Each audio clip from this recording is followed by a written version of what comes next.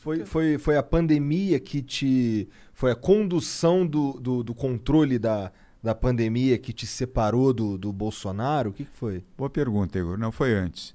Uh, logo no terceiro mês.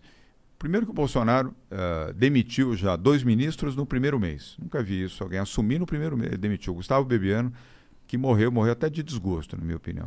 Uh, e o Santos Cruz, lembra? No primeiro mês.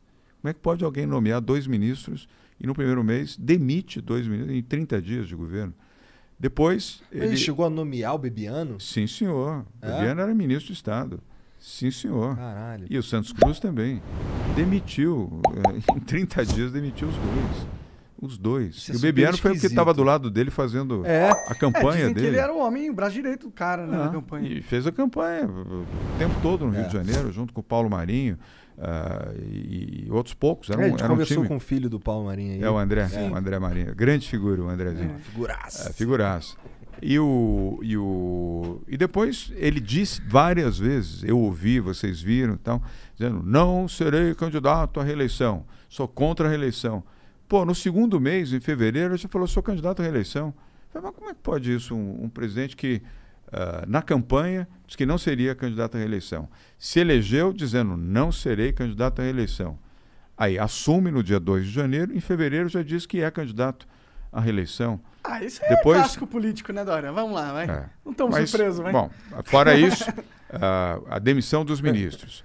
Depois quer combater a corrupção. Aí defenestrou, demitiu. O desde o início foi uma situação uh, conflitiva. Defenestrou é maneiro. É, defenestrou é Jogou é maneiro. pela janela. É. Não, e virou e transformou o, o Sérgio Moro em inimigo. É. já começou, não é que foi quando depois de demitiu, já durante o período. O já Sérgio Moro tomava tiro todo dia, humilhações do governo, tudo. E cadê o governo que ia combater a corrupção? Mandou embora o, o, o Sérgio Moro e, e, e, transformou o Sérgio Moro no inimigo da, da República. Uh, ia defender o meio ambiente, o que, que fez? Nunca se, nunca se invadiu tanto uh, a Amazônia, nunca se derrubou tanta árvore, nunca se teve tanto incêndio, tanto mal feito ao meio ambiente no Brasil como no governo Bolsonaro, logo no início. O que, que é isso? Que país é esse? Aí uma, fazer um governo liberal. Eu conheço o Paulo Guedes, gosto do Paulo Guedes, mas acho que ele está contaminado pelo, pelo Bolsonaro. Não, vou privatizar tudo, vou privatizar os Correios, lembra-se? Os Correios vão ser privatizados. Ele falou na campanha isso. Vou privatizar os Correios. Vou pri privatizar a Eletrobras. O que, que privatizou? Nada. Está aí falando até agora que vai precisar privatizar os Correios, vou privatizar a Eletrobras, e não privatizou. Nós já temos dois anos e meio. Me dê um exemplo claro de uma grande instituição pública que foi uh, privatizada. Naquilo que ele dizia, mais privado, menos público, mais Brasil, menos Brasília, logo no início. Eu sei que ele criou uma estatal nova, né? Ah, vou acabar com a tal da TV Brasil, lembra-se? Não, é. isso é um absurdo, não sei o quê, lulista, para fazer propaganda de petista. Está aí a TV Brasil, consome uma fortuna e só fica falando baboseira do Bolsonaro, dos filhos do Bolsonaro, dos amigos do Bolsonaro o dia inteiro. Aí no terceiro mês, e sem contar que as duas vezes que eu tive com o Bolsonaro, eu falei, pô, esse cara não é possível. O jeito que fala o que ele fala, pô, umas, os absurdos, uh, Igor, uh, os absurdos, eu não posso falar porque eu não falo palavrão, também esse negócio assim foi constrangedor conversar com o Bolsonaro. Duas conversas, fui com o governador lá em Brasília. Eu falei, não é possível, esse homem não tem alguma coisa errada. Ele não é normal. Falando as coisas que ele fala, os absurdos que ele fala, afrontando, chamando o, o Superior Tribunal, o Supremo, o STF, dos maiores palavrões que você pode pronunciar, já no segundo mês de governo ele falava isso, eu vou acabar com esse Supremo, vou não sei o quê. Brigava com o Rodrigo Maia. O Rodrigo era o presidente da, da uhum. Câmara Federal. Filho disso, filho daquilo, mas não sei o quê. Eu falei, pô, que, que isso? Onde é que nós vamos parar? Você está chegando agora, foi eleito, já briga com o Supremo, briga com o presidente da Câmara, já machucando os governadores. Não tinha Covid. Não tinha Covid antes da Covid. A Covid só veio em março. Não governa mais, né? Não governa mais. Falei, esse homem é um homem do conflito, é um homem do destempero total. Aí eu já rompi. Aí, para piorar, ainda falou um dia lá que ia tirar a Fórmula 1 de São Paulo. Aí foi, sabe, a gota d'água. Você não lembra daquela entrevista que ele falou, oh, comigo, tchau, senhor quer.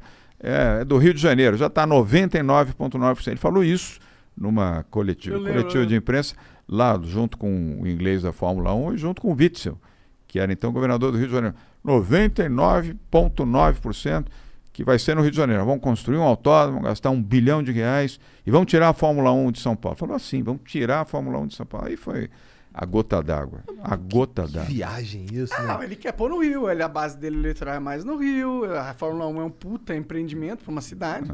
E o que aconteceu? Nada. Fórmula 1 está aqui, renovamos por mais 10 anos, agora em novembro tem a Fórmula 1. Mas ali foi a gota d'água. Falei, pô, esse cara é um irresponsável. Fazer um autódromo, gastar um bilhão de reais para fazer um autódromo lá em Teodoro. Você já foi lá em Teodoro? Você é do Rio, né? Ah, não, você é, do, Rio, é do, Rio. do Rio. ah, você, você é. Pô, você sabe o que é Teodoro? É campo ali. É. O, nem o exército gosta de ir lá.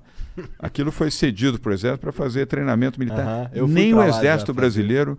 Uh, pô, o cara disse que ia gastar um bilhão para fazer autónomo um bi, gente morrendo de fome, gente com dificuldade para ter casa, para ter comida, o cara vai gastar um bi para fazer um autódromo. É, é, é que a gente Copa do Mundo. a gente tem um, umas pautas que precisam ser vistas antes de autódromo, tipo saneamento básico, tá? Pois a parada é, por que, exemplo, gente, porra, do século passado, né? Retrasado, vai. É, gente que não tem água tratada, que não tem esgoto, o cara quer gastar um bi para fazer um autódromo, só pela vaidade de fazer no Rio de Janeiro. Já tem o autódromo aqui de Interlagos, tá, os pilotos amam o autódromo de Interlagos, está pronto, está em ordem. Para quê? Não Só para vaidade dizer, não, olha, né? eu, eu. É um absurdo, uma responsabilidade. Ali foi a gota d'água. Ali, a partir daquele momento, falei, não, acabou, chega. Aí você rompeu com ele?